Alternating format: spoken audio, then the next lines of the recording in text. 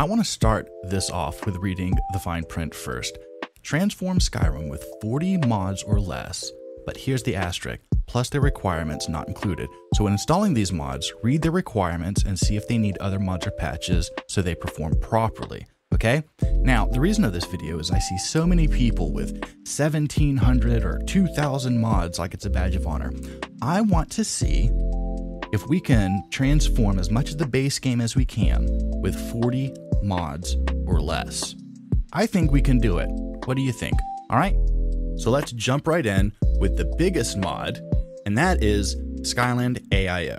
No surprise here. Skyland AIO covers all landscape and architecture, but did you know it also covers hundreds of clutter objects simply because they use architecture textures? Now you know. It also purposely covers furniture, ingots, road signs, bridges, and more. All landscape and architecture that you see throughout this video will be Skyland AIO. Next up, Static Mesh Improvement Mod, Rustic Clutter Collection, Rudy HQ, Rallies All Things, and HQ Food and Ingredients. This covers all of your basic residential clutter stuff, from plates and silverware to jugs, jars, wine bottles, mead bottles, ingredients, cheeses, meats, grilled leeks, whatever you want.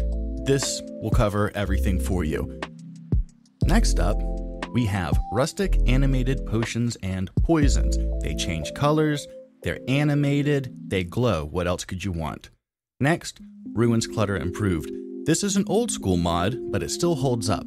It's, this uh, retextures all of the metal in Nordic Ruin dungeons, plus retextures all of the clutter, like all the little tools, all the furnitures, all of the urns.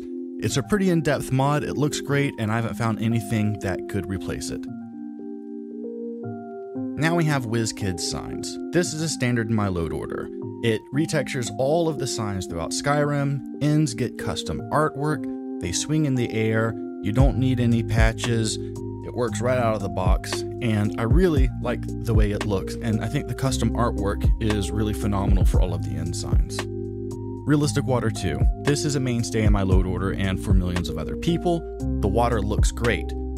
Anytime you get a mod that affects water, they're probably going to have a Realistic Water 2 patch, so no worry there about compatibility. Even Skyland AIO has a watercolor option for Realistic Water 2.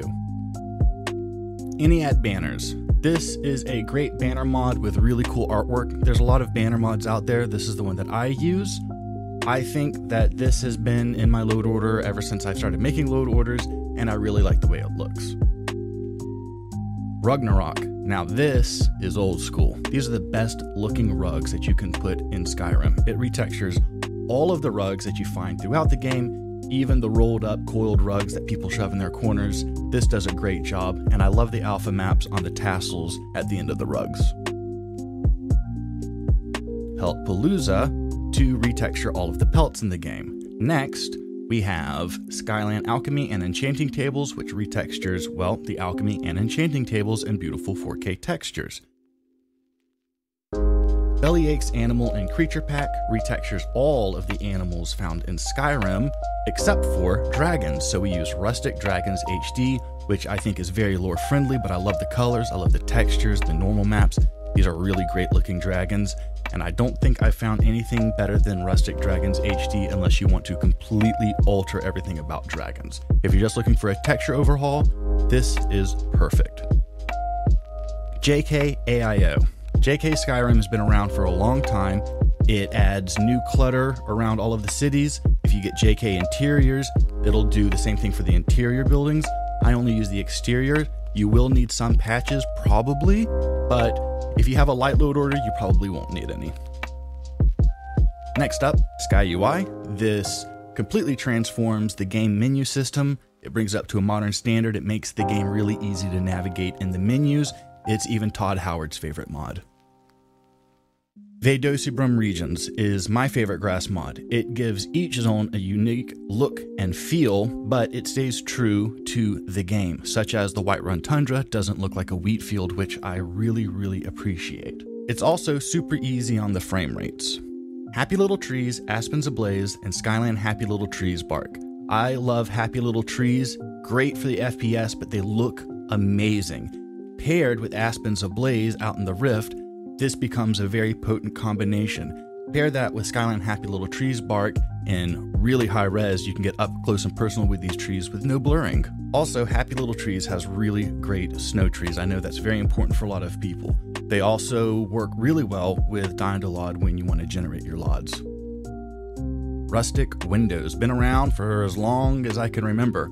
This retextures all of the windows in the game. Now, Skyland AIO has windows for farmhouses and Whiterun, so put Skyland below this if you want those windows. JS Shrines, retextures and new meshes for all the shrines you pray to, and we have Daedric Shrines for everything else. These shrines look amazing with amazing custom meshes and textures, actual pieces of artwork here. Obsidian Weather and Rudy ENB. This is a combination for a lot of people out there. I know that there's Cathedral Weathers. I know there's a couple other weathers people really like. I love Obsidian. It looks natural, it looks cinematic, it adds a certain emotion and character to the game. And when paired with Rudy ENB, it just takes up that one extra notch.